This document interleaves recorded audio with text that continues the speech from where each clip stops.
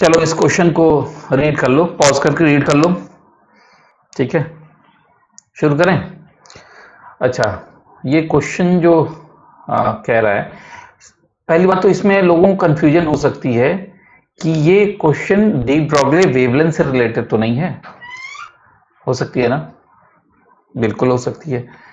लेकिन इसमें क्या कह रहा है? Minimum wavelength of x ray produce by an electron accelerated through a potential difference मान लो ये यहाँ का पोटेंशियल v है, यहाँ का ज़ीरो है।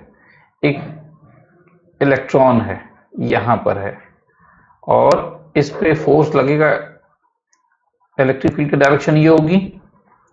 ऑब्वियस बात है फोर्स इस पे इलेक्ट्रिक फ़ील्ड की डायरेक्शन के अपोजिट लगेगा। Force is equal to q into e होता है।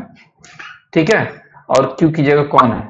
इलेक्ट्रॉन करेक्ट फोर्स है इलेक्ट्रिक फोर्स अब ये फोर्स इधर लग रहा है करेक्ट और इस, और अगर फोर्स लग रहा है किसी बॉडी पे तो ऑब्वियस सी बात है कि उसका एक्सेलरेशन होगा। क्वेश्चन में जैसा कह रहा है। तो एक्सेलरेटेड चार्ज पार्टिकल क्या प्रोड्यूस करता है? ईएम वेव तो एक्सरे एक ईएम वेव है। एक्सरे एक ईएम वेव है। तो ईएम वेव ये प्रोड्यूस करेगा। ठीक है? उस ईएम वेव की एनर्जी कितनी होती है?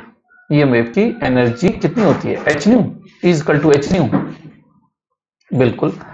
और E इजकल टू आप क्या लिख सकते हैं? एच सी बाई लैमडा लिख सकते हैं।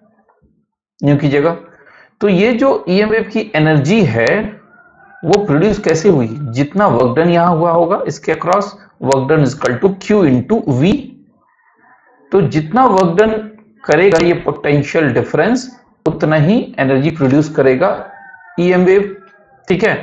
तो ये h c upon lambda is equal to हो जाएगा क्यू इंटू वी और अगर मैं इसको थोड़ा सा रिलेट करूँ, इधर क्रॉस मल्टीप्लाई करूँ इसको और इसको इधर भेज दूँ तो क्या होगा?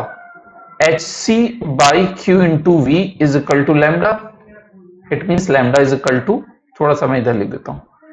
Lambda is equal to h c by q into V it means lambda is inversely proportional to one upon V हुआ।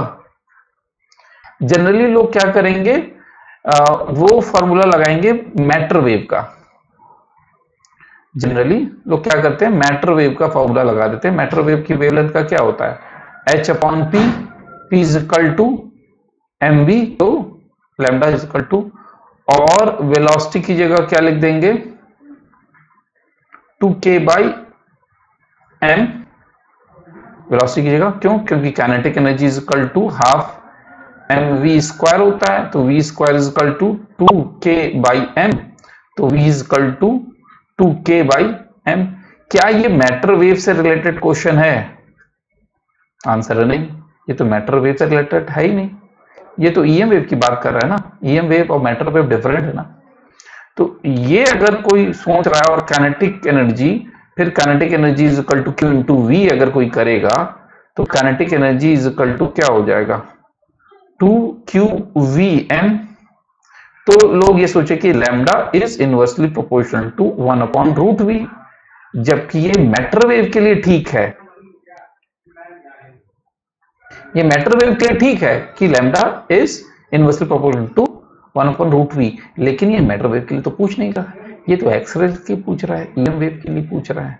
और ईएम वेव की energy h c by lambda होती है। और जितना वर्क डन करेंगे, उतना आपको ईएम वेव रिड्यूस होगा। तो लॉजिक समझ में आया कि lambda is proportional to one upon V is the correct answer ये आंसर करेक्ट होगा। ये मैटर वेव का नहीं है प्रॉब्लम इसलिए ये आंसर नहीं होगा। करेक्ट है? चलो ओके नेक्स्ट क्वेश्चन करते हैं। नेक्स्ट क्वेश्चन ये क्वेश्चन रीड कर लो। ये क्वेश्चन रीड कर लो।